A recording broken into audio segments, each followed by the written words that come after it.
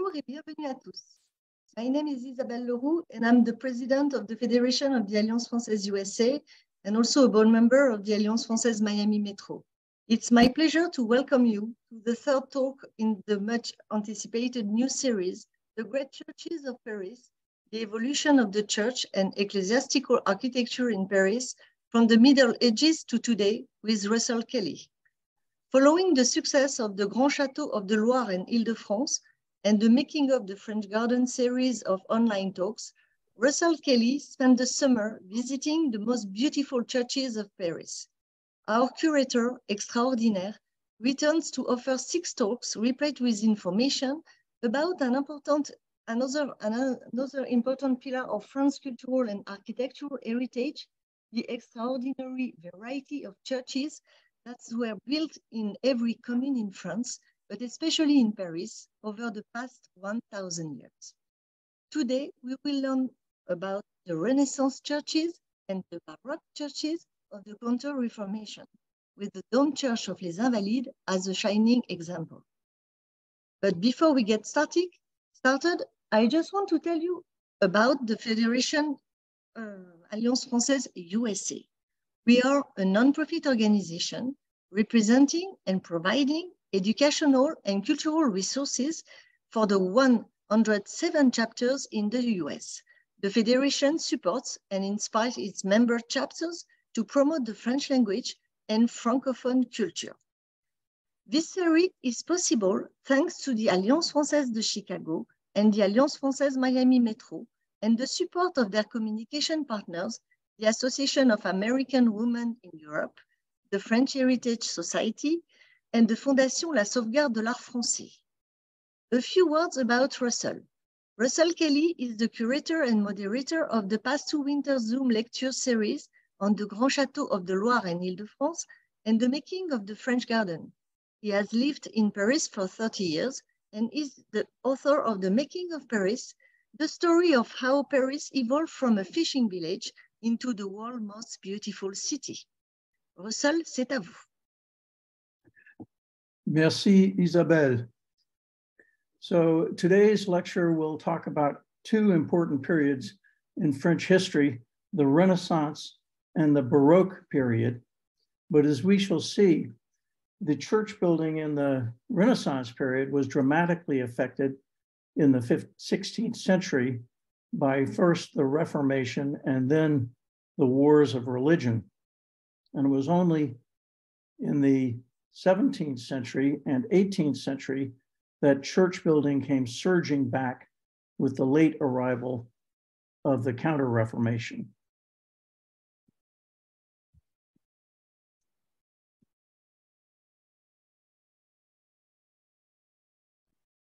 So, two periods we're going to be talking about here. And this is the third of our six lectures. And we will see how church building or church uh, design evolved now from the Gothic Notre Dame to the very Baroque Dome Church des Invalides. But in between, there were the Renaissance churches of Paris in the 16th century. And it all started with the Renaissance king of France, Francois Ier. He got that name because he brought the Renaissance from Italy to France following his Italian wars. And the period that he first went to Italy was the High Renaissance of Italy, where, of course, the Renaissance period started in the Quattrocento and 1400. Uh, as soon as Francois Ier became king in 1550, the first thing he did was to carry on the, the Italian wars with a victory at the Battle of Marignan. Uh, he was, went to Italy the first time. He discovered Italian Renaissance architecture, gardens, paintings, textiles, and he brought back the artisans from all of those domains to France. He also, one of the artists he brought back was Leonardo da Vinci, who spent the last four years of his life living at Clos Lucé next to the Chateau d'Amboise and he brought with him the Mona Lisa, La Joconde, which now sits in, in the Louvre. Um, Francois Ier was responsible for lots of French Renaissance chateaux in the Loire Valley and also in the Ile-de-France. And there were a number of Renaissance architects in France. The first two, Cortona and Primaticcio, actually were Italian, uh, but Lescot, Delorme, Bullant uh, were French, designing in the Italian, uh, the Renaissance style.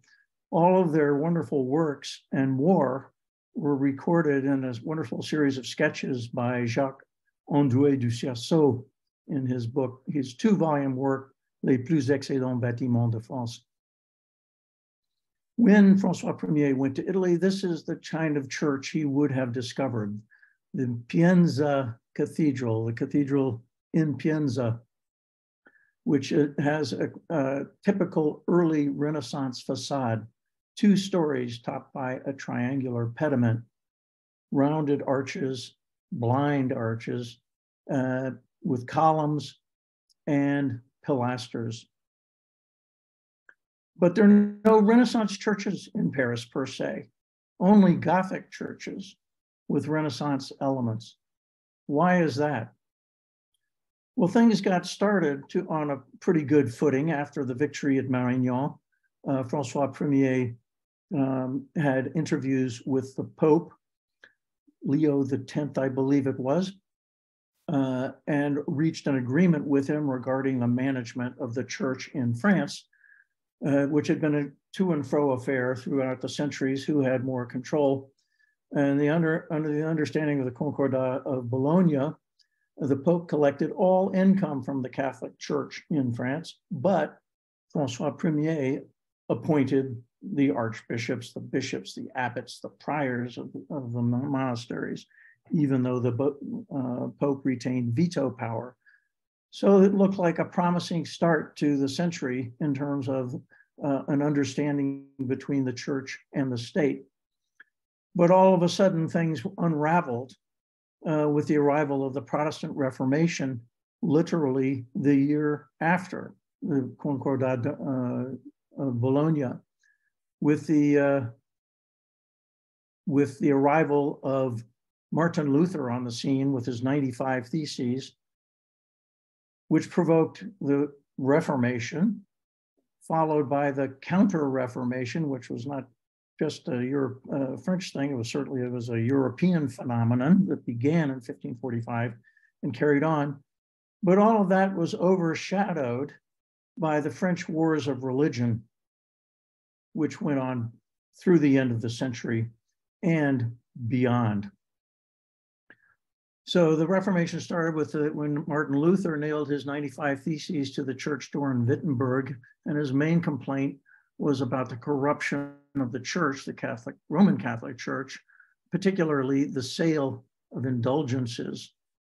He was condemned uh, by the Pope at the uh, or not, at the Diet of Worms, but he he was not uh, he was able to continue living in freedom. He was not burned at the stake, which might have happened if he had not had the protection of the princes of the Holy Roman Empire, certain of the princes of the Holy Roman Empire.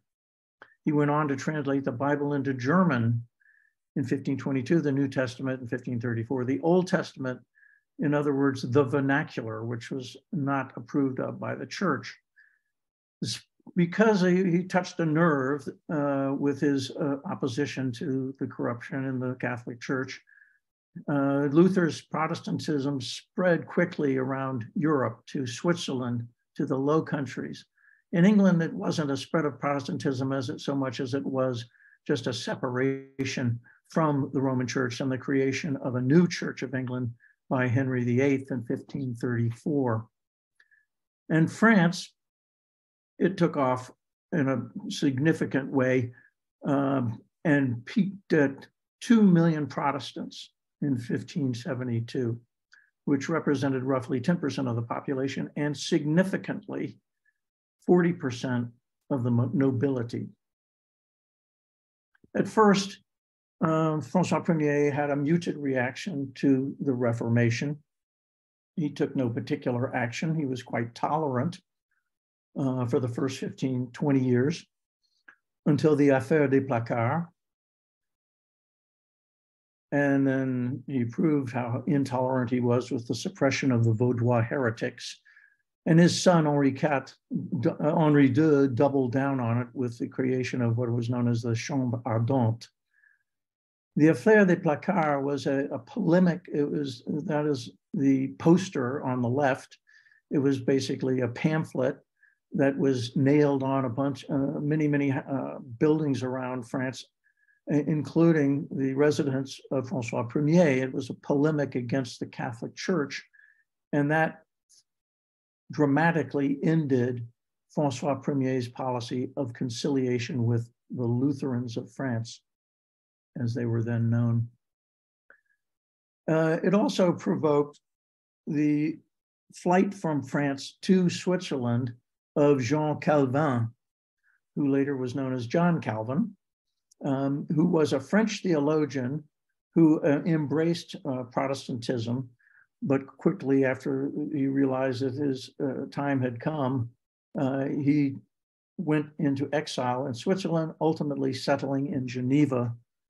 And it was from there that he developed his theology uh, of French Calvinism, Calvinism, which spread throughout Southwest France and into the Netherlands in particular, and the French Calvinists um, were known as Huguenots. So after that, 10 years after that, uh, Francois Premier uh, was responsible for what was known as the suppression of the Vaudois or the Valdensian heretics, which were an early form of Protestants that originated in Lyon, and they settled in the Luberon region um, industrious, hardworking people.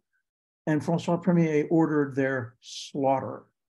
Uh, up to 3,000 of these Vaudois heretics, Protestants, were massacred, and 20 villages in the Luberon were burned to the ground.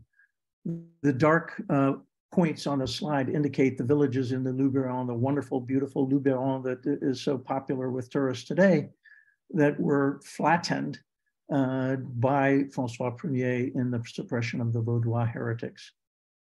Why did he do that? Well, one of the reasons why he did it was because Francois Premier had allied with Suleiman the Magnificent of the Ottoman Empire against Charles V, Charles Quint of the Holy Roman Empire in 1536. This was, as you can imagine, an extremely controversial alliance uh, with a Muslim um, sultan against the leader of the Holy Roman Empire.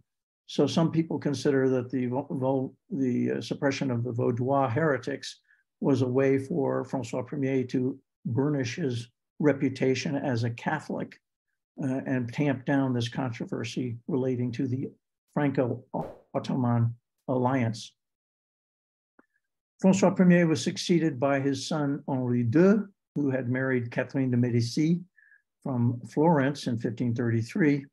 And Henri II carried on his father's anti Protestant policies with the creation of the Chambre Ardente, the fiery chamber, which was a, a court uh, he established to try heretics.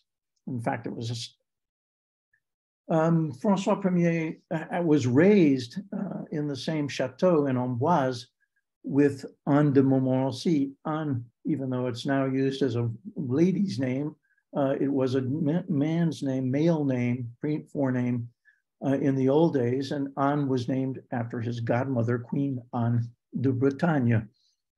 He rose uh, to prominence under the reign of uh, Francois Premier, fell out of favor, but he came back in favor with Henri II, with Henry II and he was a staunch Catholic, was Montmorency.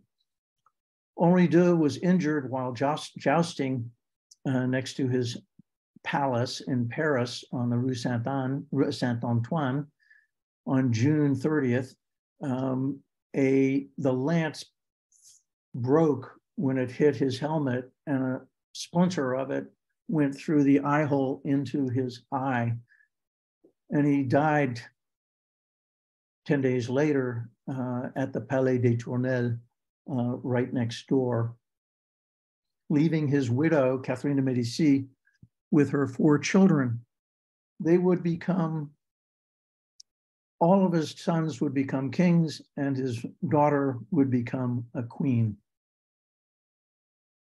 But they were young and they were not particularly strong kings. Therefore, they were easily manipulated, as was the whole monarchy, by power, what I call power brokers on the left and on the right. Or on the ultra Catholic side, the names that will come up again are our friend Anne de Montmorency, who came fell in and out of favor, uh, and he was largely supplanted by the House of Guise, first Francois Duc de Guise, and then his son Henri Duc de Guise, and Francois's brother Charles, Cardinal de Lorraine, and after his death, his son Louis II, Cardinal de Guise. And the third member is Jacques d'Albon, the Maréchal de Saint-André. Uh, we'll mention these uh, three later. On the Huguenot side, there was Condé and Coligny. We'll introduce them momentarily. So Francois II succeeded his father, Henri II, at the age of 14, 15. He had married Mary, Queen of Scots at Notre Dame the, uh, the year before. Uh, even though he was nominally uh, old enough to take power, in fact, he delegated power to Mary's uncles, Francois Duc de Guise and Charles, his brother, the Cardinal de Lorraine, who I mentioned on the two previous slides. Francois de Lorraine uh, had been raised with Henri II, just like Anne de Montmorency was raised with Francois Ier. He was a successful general in the Italian wars that Henri II carried on after his father. And he was the leader of the ultra Catholic triumvirate, as it was known, which included Anne de Montmorency and the Maréchal de Saint-André. And he exercised extraordinary power uh, over the young King Francois II. And the Protestants uh, opposed the power of the, of the very ultra Catholic Guise family over the king. And in order to replace uh, them, uh, they conspired to take uh, to basically take control of the monarchy and, and expel the House de Guise. Uh, their conspiracy was discovered and um, was thwarted by the Duc de Guise. The Amboise, uh, the uh, Protestants uh, attacked the Amboise, Chateau d'Amboise, uh, where Francois II was, but the troops were waiting for them and they were massacred, and it led to up to 1,200 Huguenots being executed.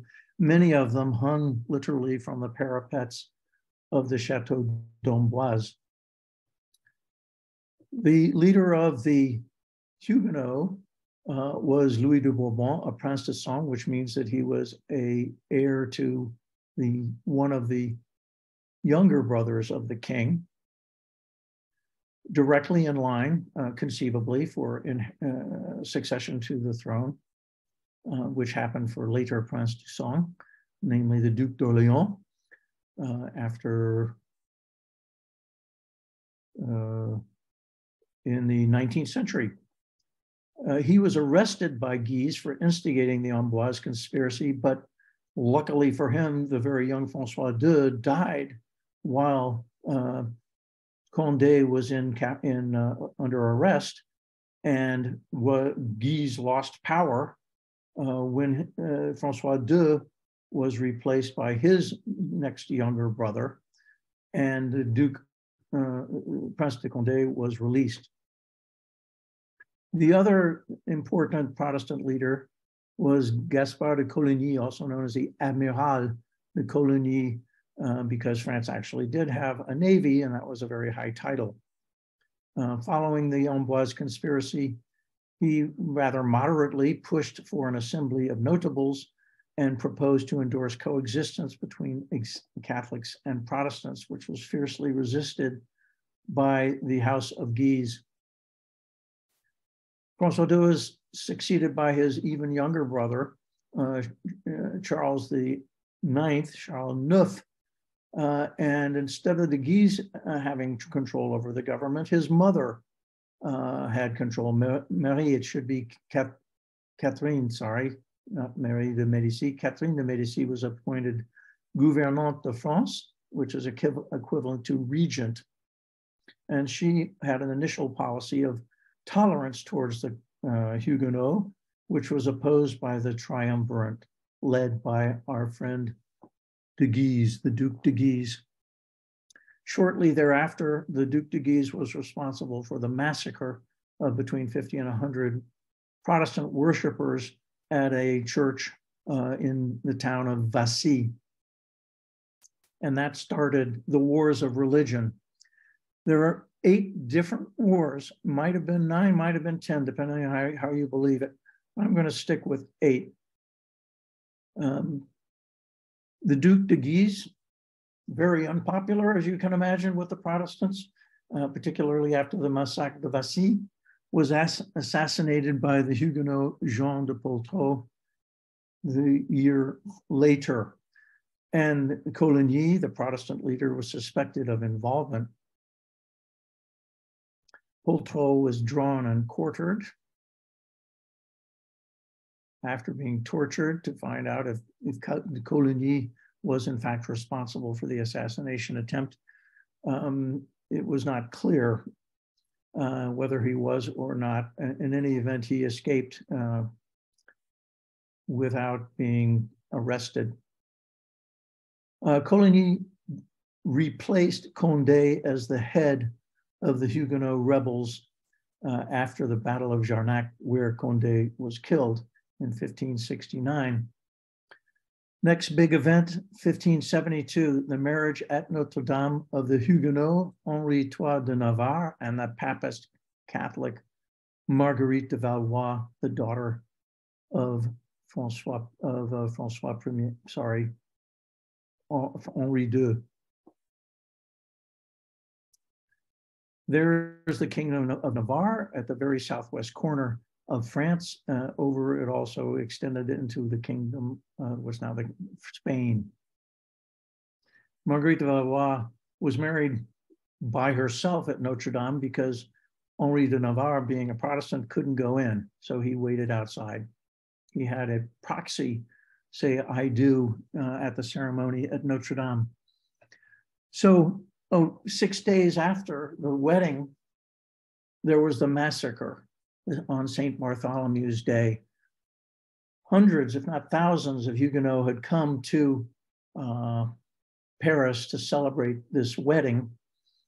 And the, the Duc de Guise, uh, or the, the Protestants, sorry, the Catholics, took this opportunity. They were concerned that there would be another revolt, uh, uh, another cons conspiracy like the Amboise conspiracy so in order to preempt that, um, Marie de Medici, sorry, Catherine de Medici, who changed her mind, she went from being tolerant to being uh, rabidly anti-Protestant uh, and agreed and pushed her son to order the massacre.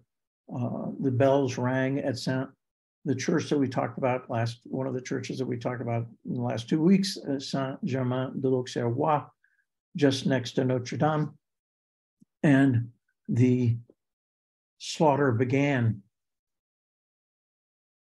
This is a composite photo that uh, shows a lot of different things in a very small space that weren't there in reality, including in black on the left, uh, Catherine de Medici, and hanging from the window, the Amiral de Coligny. Amiral de Coligny had in fact entered France on August 2nd, and he was shot from a window and injured and on then uh, on uh, St. Bartholomew's Day, he was uh, taken from his bed and defenestrated um, and then mutilated. All in all, uh, th this massacre extended well beyond Paris to all of France, and nobody knows the numbers exactly, but it's tens of thousands of Huguenots uh, were slaughtered in the next in the following weeks. But Luckily for Henri de Navarre, the bridegroom, uh, he survived.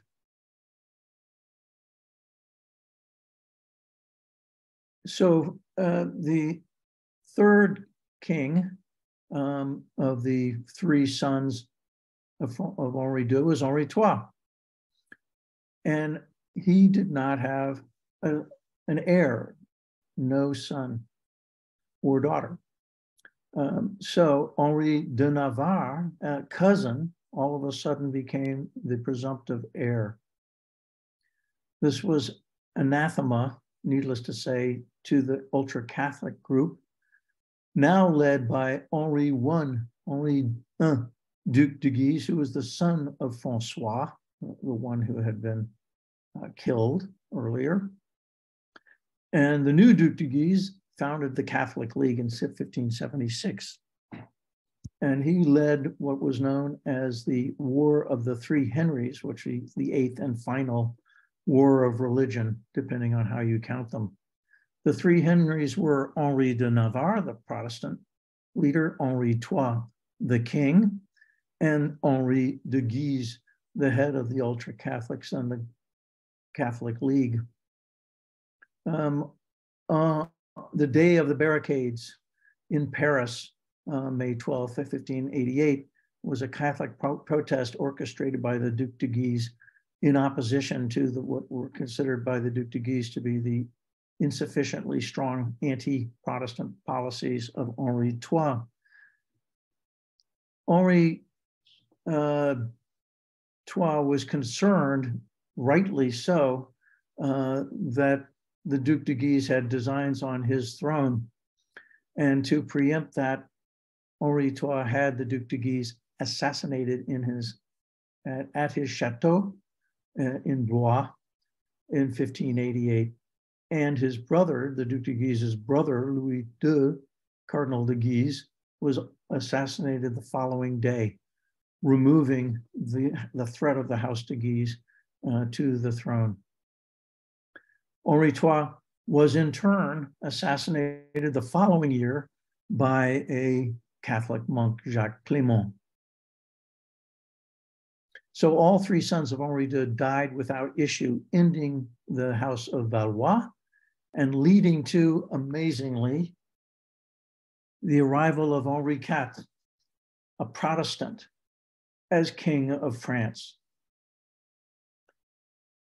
There then ensued what I, I separated from the other wars of religion, but it's a, essentially a continuation of the wars of religion against the Catholic League which went on for four long years uh, and, until finally Henri IV converted to Catholicism at the cathedral, at the Basilica of Saint Denis in 1593, famously saying, Paris vaut bien une messe. Paris, Paris is well worth a mess, a mass. So he entered Paris finally in 1594.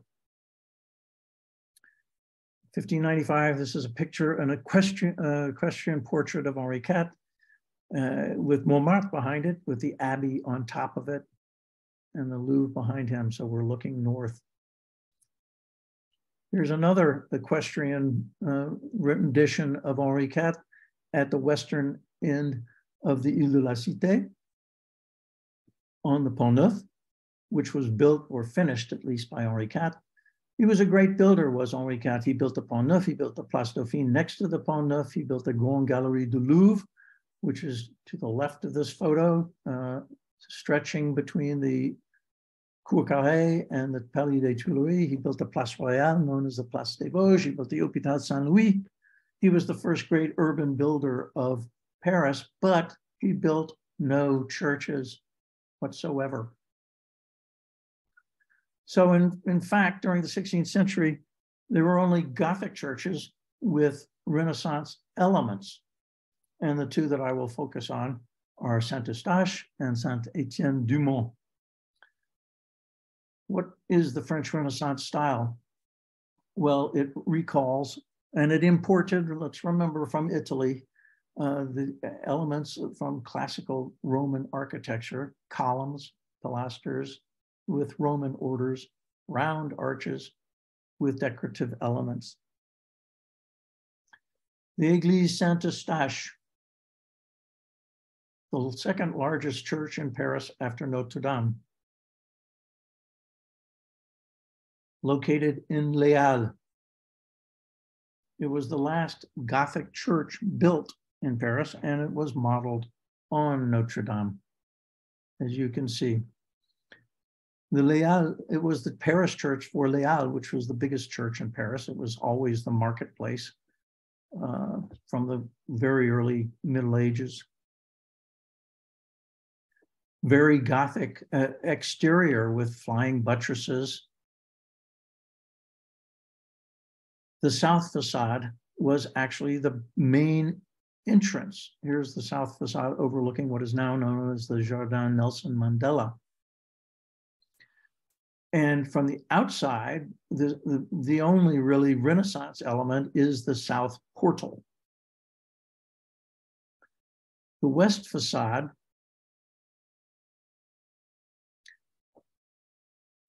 Here's the west facade, which is not used as the primary entrance and never, never was, with its unfinished south tower in a very different style. There was a plan to actually build a Renaissance facade, and this is the design of Du Cerceau for that facade, but it was never built. In fact, the original west facade was built in the Gothic style, but ultimately uh, it was demolished This is a photo of the Gothic facade in 1730, not a photo, an image of the uh, from the uh, in 1739 of the Gothic facade that we just saw. And that this let me take this opportunity to introduce to you the Plan de Turgot, which was published in 1739 by the prefect of the Seine Turgot. Uh, but the cartographer, cartographer who made this amazing bird's eye view map of France and Paris, rather, that I will be showing lots and lots of excerpts of in this presentation uh, was Louis Bretéz. So the Gothic facade of uh, Saint-Eustache was demolished and it was replaced by a new facade designed by Louis Le Vau with columns in the classical style. It was never completed, as you can see, the South Tower uh, was not built, but it does have the wonderful classical style of paired columns on two levels, ionic columns on the upper level with Doric columns on the lower level. Inside the nave, extremely high ceilings, higher than Notre Dame. The decorations are in the hybrids, uh, uh, in hybrid style, flamboyant Gothic vaults, which we will see, which is extremely ornamental. And instead of having pointed arches along the arcades, uh, they are semicircular. Flamboyant Gothic arches with a lot of elaborate ribs, which uh, many of which are decorative,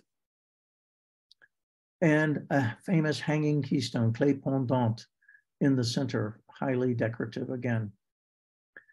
The semicircular arches in the Renaissance style. Some photos of the location of the church in the Halles. And marked in blue is where Halles uh, built by Baltard, uh, were, were built by Baltard. This is the first pavilion of Halles. It was so clunky, it was known as the Fort de la Halle. Uh, Napoleon III hated it, so it was replaced by the new version of the pavilions that you see here.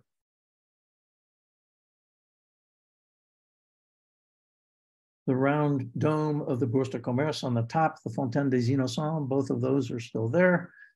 Uh, what's in between these three items has changed a lot, however.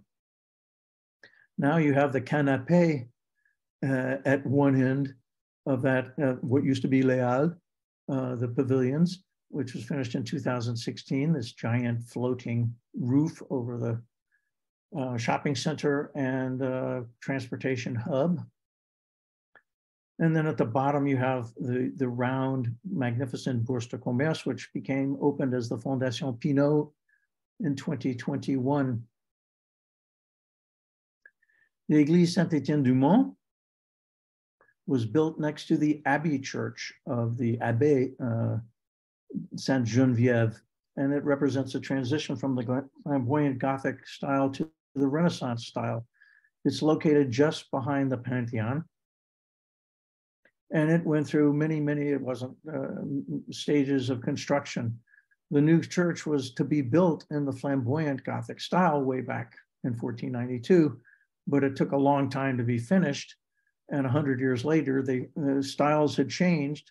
Uh, so they built the nave and the transept in the end in the new Renaissance style, as well as this facade. Something that happens frequently in, in churches, buildings, because they take so long to build, styles change, and, and uh, the churches often reflect that. So as I mentioned, the Abbey Saint Genevieve, uh, founded in 506 on the Montagne Sainte-Geneviève, the Abbey Church was rebuilt uh, in the 11th century. That's what you see here with the Tour Clovis, Clovis behind it. Just inside the Philippe Auguste wall on the right. The Abbey Church was demolished in 1802 to make room for now what is the Rue Clovis.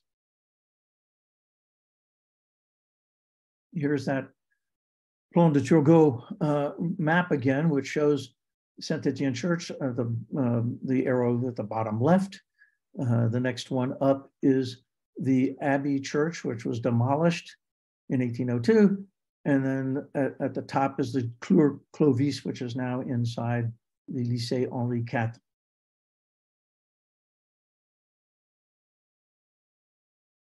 The church, uh, Saint-Étienne-du-Mont, is in a very irregular shape. You, you can't really tell when you're in it, but it, but it is an exceptionally irregular shape. But the way it's designed, you, you, you can't tell. Um, again, just like uh, Saint-Eustache, it combines flamboyant Gothic and Renaissance elements.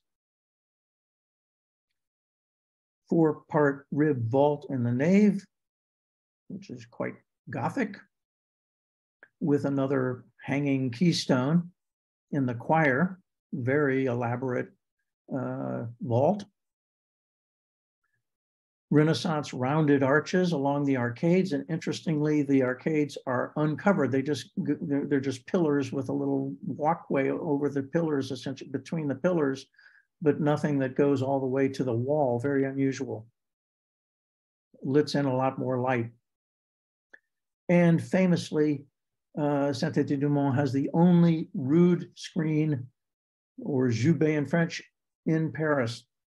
All churches had rood screens at one time, but they were done away with in the Counter Reformation. And the point of the rood screen, and this one is very elaborate. Uh, sometimes they're wood, sometimes they're carved stone, as this one is, uh, is to separate the choir where the clergy were from the congregation. In the old days in churches, up until the Counter Reformation, uh, the clergy was seated in the choir and they held their services, and the congregation couldn't see what was going on and couldn't hear what was going on. And they were standing in the choir. They didn't have seats back then. It's the facade that gets a lot of attention of Saint-Étienne-du-Mont uh, with its pilasters, pilasters, its triangular pediment over the front door, and then above that, an arched pediment. And look at this uh, image of the Lescot wing of the Louvre, which was built, decorated by Jean Goujon, and you can see the very same elements the arched and triangular pediments with pilasters. Very elaborate sculptural de decorations as well. If you look at Saint-Étienne-du-Mont, you can't help but notice the, the unusual dramatic bell tower that was uh, actually built at a very early stage, but then raised to a height with the addition of a lantern and this magnificent circular turret uh, attached to it, which is a, hidden staircase or a staircase. Yet another assassination occurred um, when uh, Henri IV was killed by a Catholic zealot, Francois Ravaillac, uh, in 1610. Ravaillac, he too was drawn and quartered as a result. Louis uh, Henri IV was succeeded by his eldest son, Louis XIII. Paris, uh, 10 years later, was elevated from a diocese to an archdiocese, no longer under the supervision of Sens. And Louis XIII was much under the influence of his very Catholic mother, Marie de Medici, and he reasserted Catholicism. And I should have mentioned in 1598, the Edict of Nantes uh, was promulgated by Henri IV, which uh, was an edict tolerating religion, tolerating Protestants. And, uh, and that was the high point in terms of to religious tolerance. Well, from that time until 1610, the death of Henri IV. And then starting in 1610 with the uh, accession of Louis XIII, uh, the tolerance began to decline dramatically. But it resulted in two things. First, a re, uh, push uh, for Catholicism, and second, push for church building. Louis XIII was admirably um, helped by Cardinal Richelieu, who's often considered to be the first modern prime minister. He was an extremely strong leader but the Huguenots pushed back against the, the loss of uh, toleration under Louis XIII, and they had rebellions uh, in the southwest of France in the 1620s. In particular, this just shows you the kind of areas where the Protestants were located. And their main stronghold was in the city, the port city of La Rochelle, which was virtually entirely Protestant. And the uh, Louis XIII just with uh, Richelieu decided that he could not tolerate uh, opposition to his rule, so he put it under siege, and ultimately uh, the city um, capitulated after 14 months of siege. Which finally brings us to the Baroque churches of Paris over this 150 year period it started the Baroque thing with the it's initiated really uh, reflects the Counter Reformation, which started with the Council of Trent, Trento in Italy, and in among other things, the Council of Trent encouraged church building, which, as I said, in Paris didn't start for another 60 years or more because of the wars of religion. It abolished rood screens and it was no longer necessary for churches to face east. Two interesting facts. And that liberation thing continues, but if you go to churches, you see the altars that are now at the very front of the um, nave in the, the back of the choir. And, and that was actually, uh, that came much later as part of Vatican II, when, uh, because under the Council of Trent, the, the the altar still faced uh, to the end of the church, not facing the congregation. So this is the Paris of Louis XIII. If you ha had time, we could go through this. I just highlighted the view looking south from the Butte de Chaumont, uh, and all these numbers, these each of those buildings has, or a lot of those buildings have numbers uh, etched on them identifying what they are in the bottom there. And many, many, many of them are churches. If anybody can tell me what the big uh, looks like a monastery to me at the bottom, uh, I'd be grateful because I it doesn't have a number on it and I can't figure it out. I don't think it's Montmartre, uh, but it's probably some monastery or abbey outside the Charles V wall. Read the Baroque style, also known as French classicism. It rejects Protestant austerity and it has elaborate facades, domes, barrel vaults. And the churches are aligned with the street, which doesn't mean that they're facing east anymore. The facades in the new Baroque style are built on two or three levels of columns with classical orders, in the classical orders. The earliest Baroque churches in Paris, Saint-Gervais and uh, Saint-Protais, Saint-Joseph des Carmes, and Chapelle de la Sorbonne. Saint-Gervais and Saint-Protais had the first Baroque facade in Paris, but no dome. This is the church that's right behind the Hotel de Ville. Three levels of columns in the classical orders.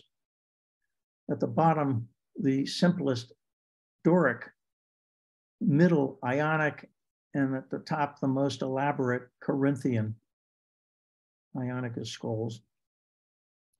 The rest of the church, literally, they stuck this Renaissance facade on a Gothic church.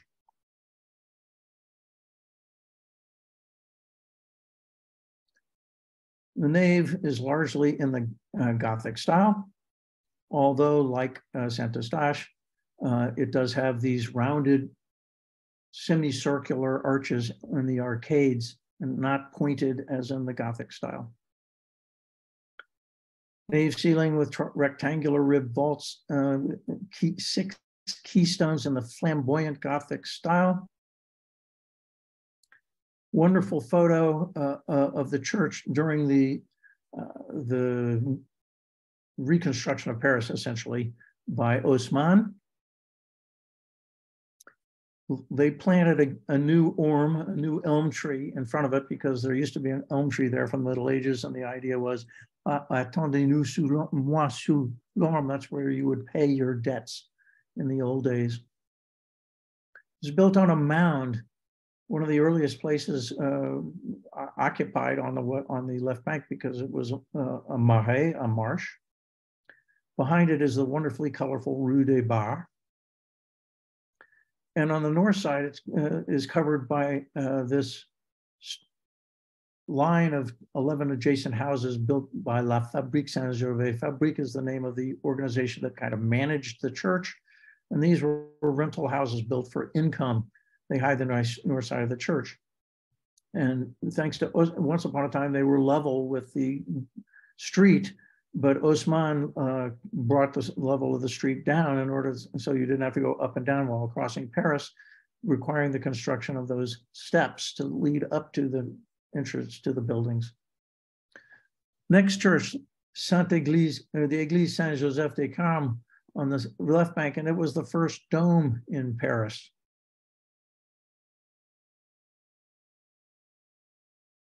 But the first really good dome in Paris was at the Chapelle de la Sorbonne, which interestingly has two entrances. This is the one facing the Place de la Sorbonne and the Rue Saint-Michel at the top arrow. And then there's another entrance, which is from the Cour d'honneur of the Collège du Sorbonne, de Sorbonne, uh, which was commissioned by Richelieu when he was prime minister.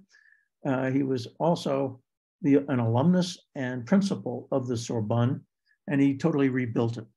So what you see on the uh, he, he, built all the buildings around this Cour d'honneur and the, the chapel.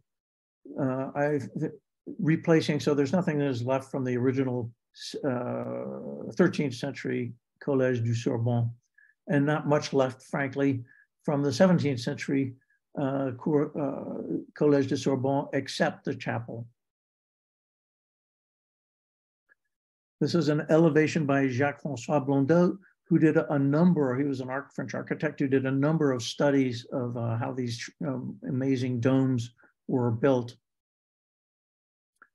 We're now going to go through a, a, a line of Baroque churches on the right bank of Paris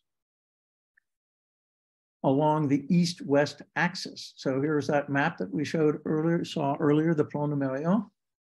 And it's looking east, and at the very top, uh, arrow points to the Bastille, which protected the west, the eastern entrance to Paris and the, the wall of Charles V. Then, and it led to the Rue Saint-Antoine, which is still there, which in turn led to the Rue Saint-Honoré, which is still there, which led ultimately to the Porte Saint Honoré at the western end of the Charles V wall.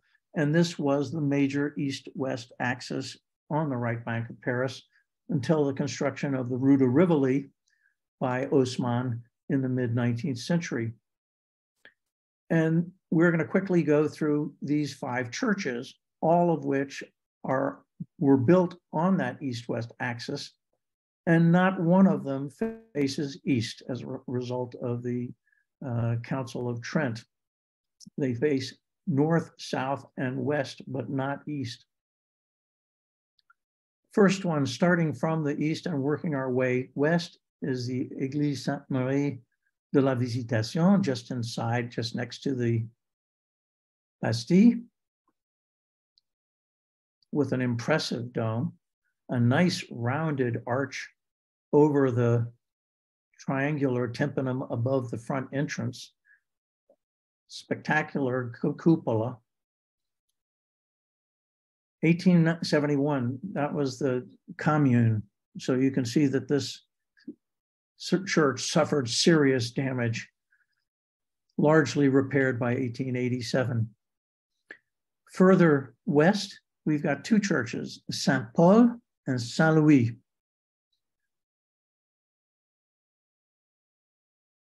On the Rue Saint Antoine.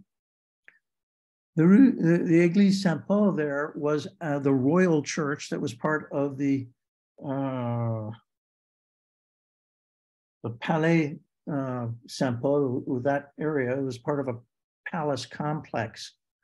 But ultimately, during the revolution, it was demolished. And there is uh, still this vestige of the wall standing on the Rue Saint Paul. And in honor of that church, they renamed the church Saint Louis to the church Église Saint Paul Saint Louis, which is located just a little bit further west uh, and was built in this spectacular Baroque style with three levels of facades with the columns in the classical order as well. There's actually a great dome, but if uh, it was an early dome and you couldn't even tell it was there unless you went back all the way to the Rue des Francs Bourgeois. Now you can see the dome. the nave, looking at the cupola uh, and the choir beyond, rounded arches, very elaborate decoration.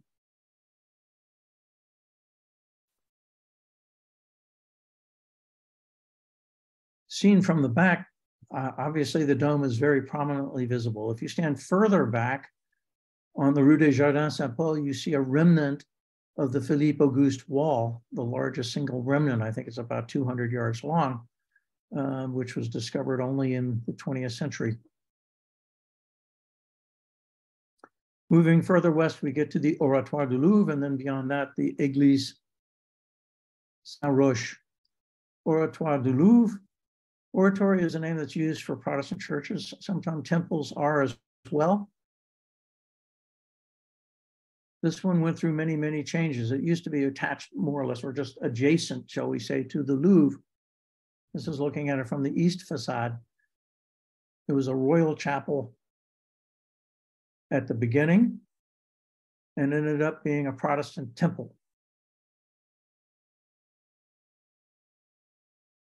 This is looking north. And where we would now be is be from the Rue de Rivoli. Has an unusual oval chapel And there's a, uh, again, from the uh, Plan de Turgot, you, you see the church before it has its great portal, its great western, it's actually northern facades. You see it faces south, this church, and it was kind of connected to the, the Carrée. Uh, and uh, the, what separate, then it was separated from the Louvre by the construction of the Rue de Rivoli by Haussmann.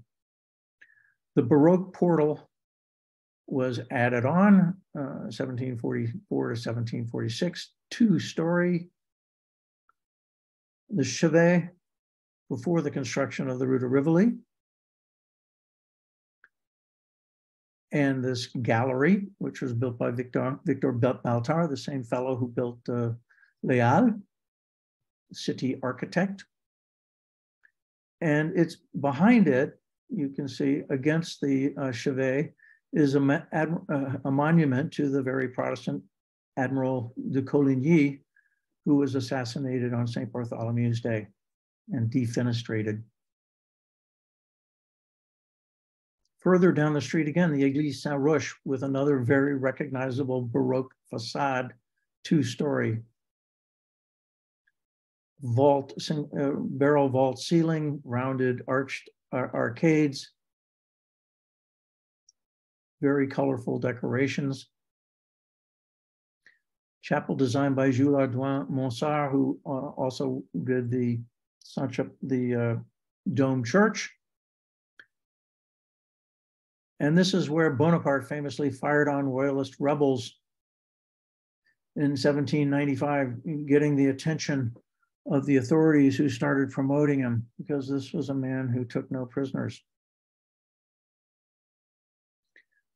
And the fifth church uh, on the Rue Saint-Honoré or on the east-west axis is the Église Notre-Dame de l'Assomption, which is a, now it, this one is facing east, uh, west, not east. It's facing exactly the wrong way uh, from the old orientation practices.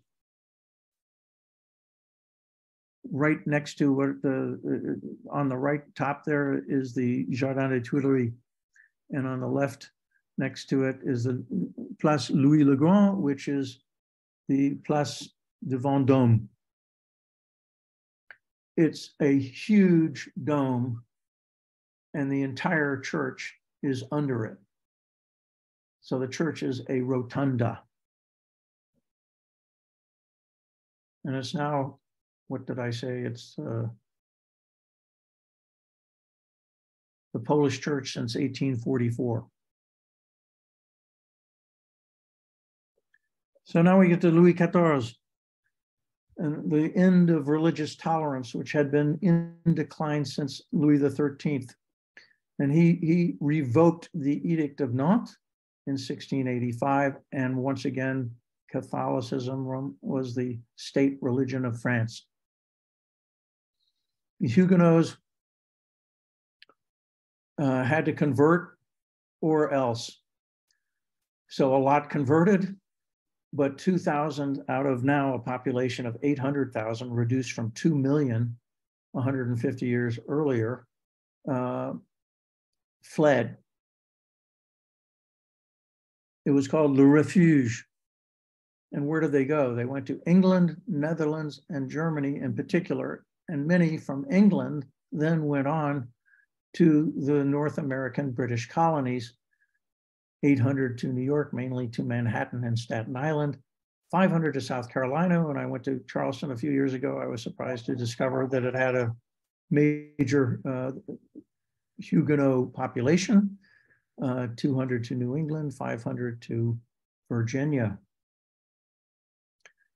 Baroque churches in Paris on the left bank that were built during the reign of Louis XIV. Well, Anne d'Autriche, his mother, uh, was married for something like 23 years uh, before she finally gave birth to a son and heir, Louis Dieudonné, Louis the God given the future Louis XIV or uh, Louis XIV.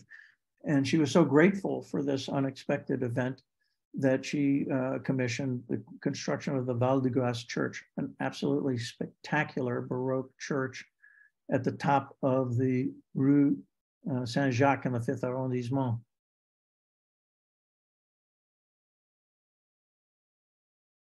Enormous dome,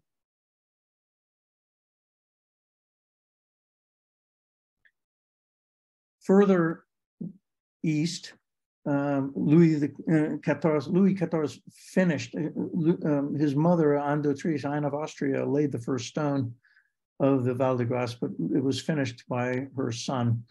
Uh, and her son went on to build two spectacular other churches on the left bank. At the he built the hospital La Salpêtrière, named Saltpeter Hospital, because I, they used to make saltpeter out there. It was on the edge of town, plenty of space So he used that empty spot to build this gigantic hospital. Louis Le Vau, the same architect who did um, Versailles. And it's now next to the Gare d'Austerlitz. And that gigantic dome is the chapel for this gigantic hospital.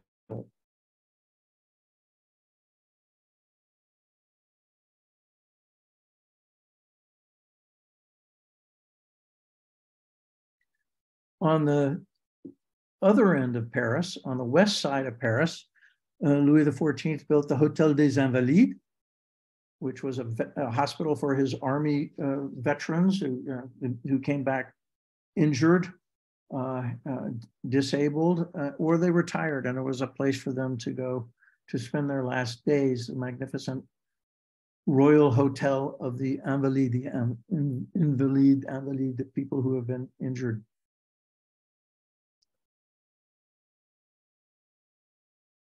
And to complement the Hotel des Invalides, which had its own church actually, still does, was built the Dome Church on the south side of it by uh, Jules Hardouin Mansart, who also went on to uh, build, succeed Le Vau at uh, Versailles with a spectacular Baroque facade and even more spectacular dome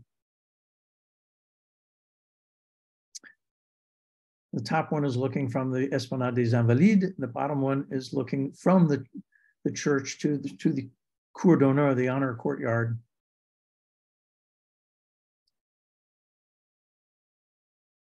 Visited by Louis XIV on the 4th of July, 1701, and you can see that there is absolutely nothing in that area. He picked a greenfield location. But once the, the church was built and the, the Hotel des Invalides was built, then the area around it, particularly between that and the Louvre, started to fill out, creating the new Saint Germain neighborhood of, of Paris. Uh, today, the Hotel des, uh, the Dome Church is famous for uh, the crypt of Napoleon's sarcophagus, which was installed there during the reign of Louis Philippe. Uh, the sarcophagus was designed by Louis Visconti.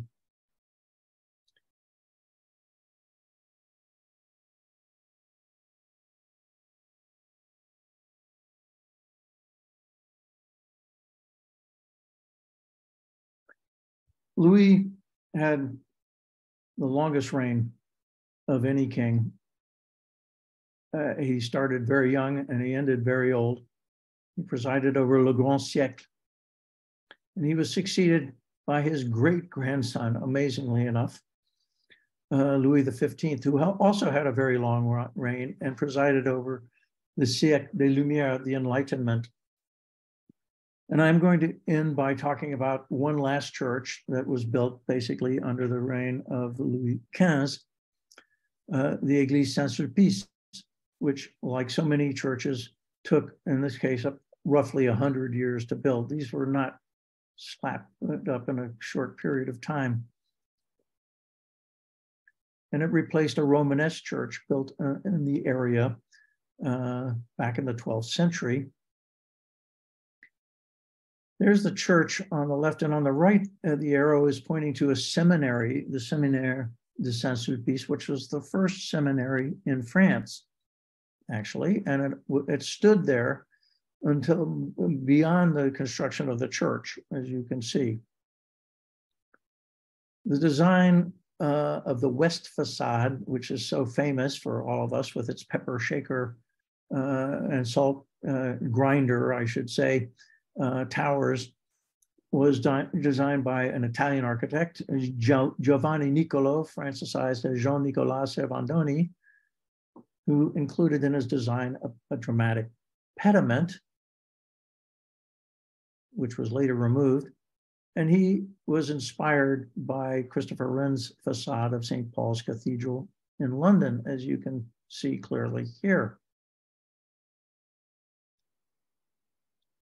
There's the pediment. But it was removed uh, later. And on the, uh, so this church faces, because it replaced an old church before the, the uh, Council of Trent, uh, it still is uh, east facing. So we always know that the North Tower is on the left and the ri- South Tower is on the right. Um, no, no pediment anymore. It's got a balustrade up there. And the South Tower, uh, so they were built, uh, Servandoni built his towers, and on the left, it was rebuilt. The North Tower was rebuilt by Jean Chalgrin in a neoclassical style, and the plan was to rebuild the South Tower in the same style, but it never happened. Which is why the North Tower is taller and in a totally different style uh, from the South Tower. The Place, the Saint-Sulpice followed with the, uh, the demolition of the seminary and the construction of the magnificent fountain of four bishops, designed again by Louis Visconti.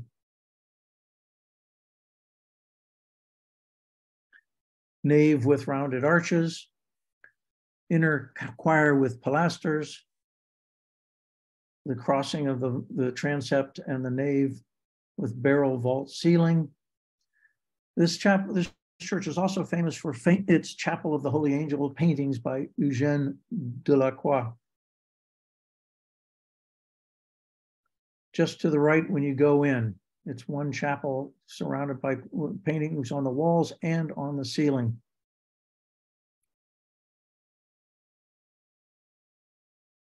It has the old, biggest organ in Paris. Over the, hmm, I guess it's, I believe it's o- over the entrance. And that brings us to Louis the Sixteenth. The neoclassical period highlighted by the Pantheon and the Revolution, which changed everything. So more about all of that next week. Thank you very much.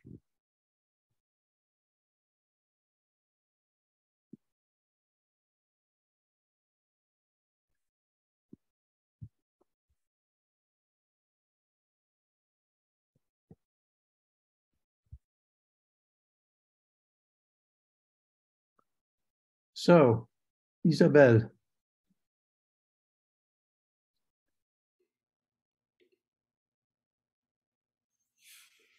Je regarde pour voir si Isabelle est avec nous pour la modération to moderate the, the question. Thank you, Russell. Um, wonder if she went to the other link a little early. So uh, apologies if this happened. Uh, Paprika, maybe you want to reach out to Isabelle and make sure she can come back with us. Okay.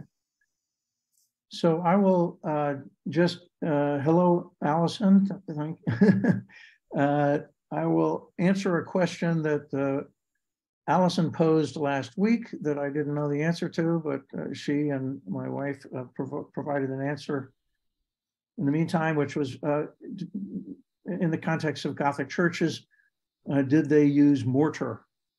And I said I didn't know. And the reason I said I didn't know is because if you look at these churches, the stones are incredibly tightly packed. You, you can't see mortar in between them. They're just, I read in one thing that the tolerance or the, di- the distance between stones was never more than five millimeters, uh, which is like a quarter of an inch. So there, it, you can't see any mortar. Nevertheless, they did use mortar.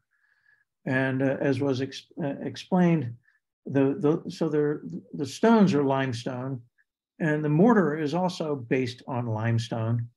What they would do is kind of burn and crush the limestone to create a powder, add sand to it, add um, water to it, and then smear it on the side of the stones.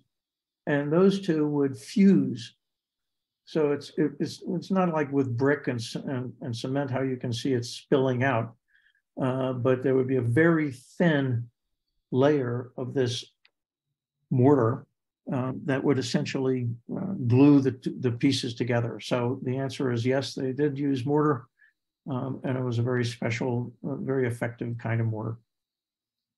Merci, Russell. I remember that question from uh, last week, wondering how so many stone could stay be fitted so well and so precisely together. Um, and a little mortar, un petit peu de mortier always help, doesn't it? Uh, there's a question by, from Beth Chadur. Uh, so many of these churches have no pews, just chairs. Is that common? And actually, that's a question I had last last week too, because often in those churches you go there and it's just a bunch of chairs that can, can be moved. So, how about Mm. those pews? When when did this happen? Well, I might, I don't, I don't know the answer. I do, I can tell you that, uh, some, um, uh, some churches have pews, some have church, have, um, have chairs.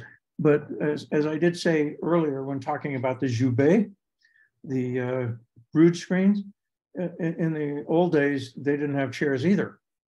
Uh, it's kind of like in, if you went to the Globe Theater, uh, in in the day of Shakespeare, which is, by the way, roughly the same period we're talking about here, they didn't have chairs either. You stood up during the performance. Well, similarly, uh, in churches, they stood, uh, the congregation stood up, uh, the average congregant. Uh, and then they started to, I don't know if it was a, one church went for pews, one kind of religion went for pews, and another went for churches. Um, I, I don't know when the, the, the pews came in compared to the chairs. So it went for chairs rather not churches. Interesting question. Maybe I'll answer it next time. That's it. Or if someone, as we say on the line, can do it, uh, Yeah. that's great. Uh, Isabel's back. Thank you, Isabel. I know you're in France. We, I think we lost contact, but uh, to you, uh, please, uh, there's a few questions on the chat. Uh, merci d'être de, de retour. My pleasure. Yes, I'm sorry. I had uh, technical issues. So yes, Russell, thank you so much for this amazing uh, presentation. And we may have some question for you. Uh, and you know, um, regarding uh, the last talk, the one that you did last week, you remember you had um, a question that you you were not able to answer at this time, No. but you now, I, I think that you did some researches and uh, it was a question regarding the material used uh, for the construction of the Gothic cathedral. And it seems that now you have the answer. Yes, and, and while you were reconnecting, I gave it. Ah, you did it. Yeah. Fantastic. It's done. Okay. Okay. Okay, okay, okay. Uh, so let's see the chat. So uh, yes, there is one question for you. Uh, I was wondering why they didn't do the second tour as the first one for the Saint Sulpice Church. What was the reason? They didn't have time, or maybe the architect didn't want. Well, well, this is, this is a phenomenon that happens time and time again when you look at churches. For example, a- a Saint Eustache Church, they, they ran out of money. Uh, uh, and they said they never built the south tower for the Saint Eustache Church. Same thing with the, uh, with Saint Sulpice, but it's, it was worse in a way because there, the, the revolution came. And so nobody was building any churches during the revolution, as we will discuss next week. But yes, a lot of church building uh, occurred in fits and starts, depending on how much money was available. And sometimes they just literally would stop. So many times they, they would build the facade, but not the towers. And then later they build one tower and maybe they would build the other one, but sometimes they would be built at different centuries and in totally different styles.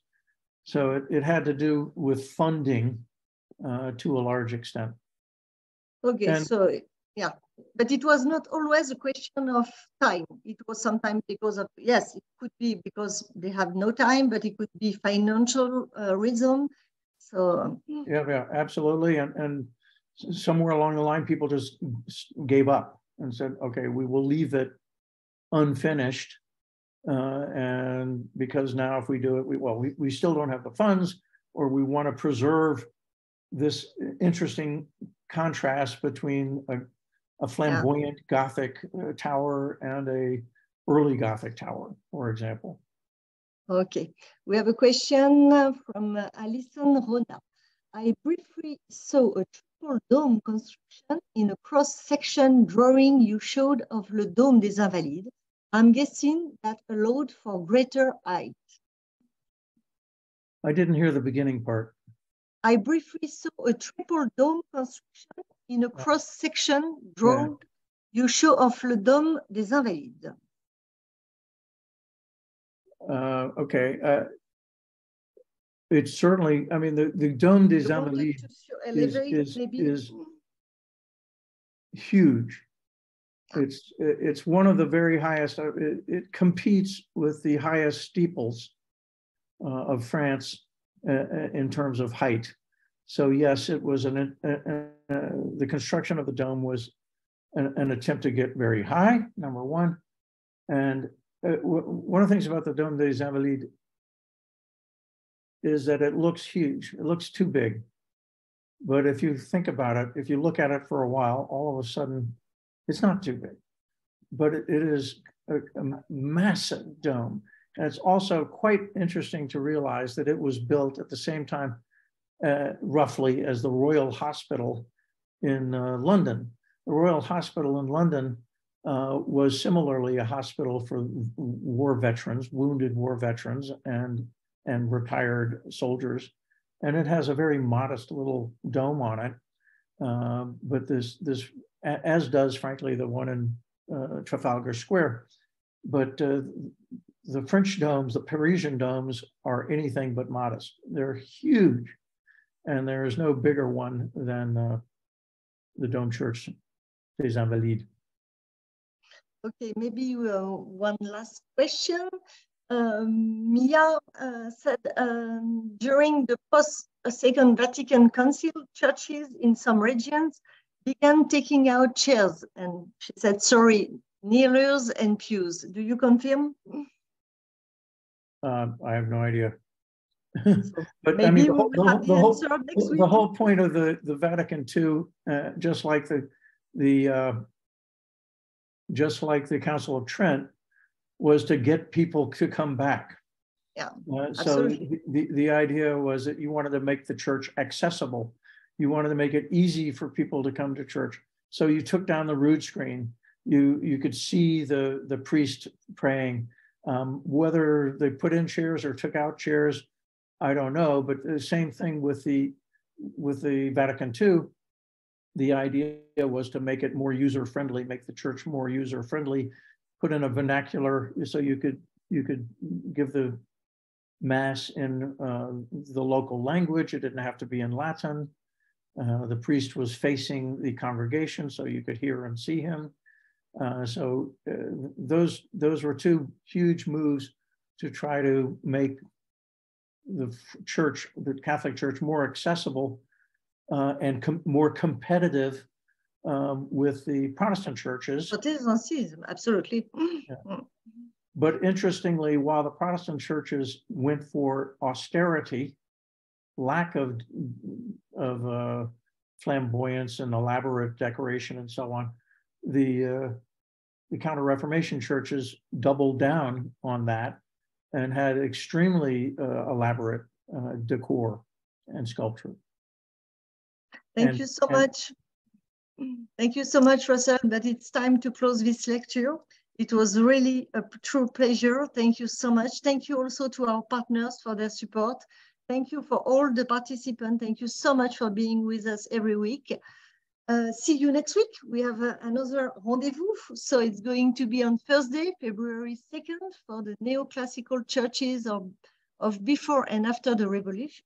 This changed everything, including the Pantheon. It's going to be at noon in Chicago Central Time, 1 p.m. in Miami Eastern Time, 6 p.m. in the UK, and 7 p.m. in France. Thank you so much and see you next week. So don't forget, mark your calendar, Thursday, February 2nd. Merci, au revoir. Au revoir à tous. Au revoir.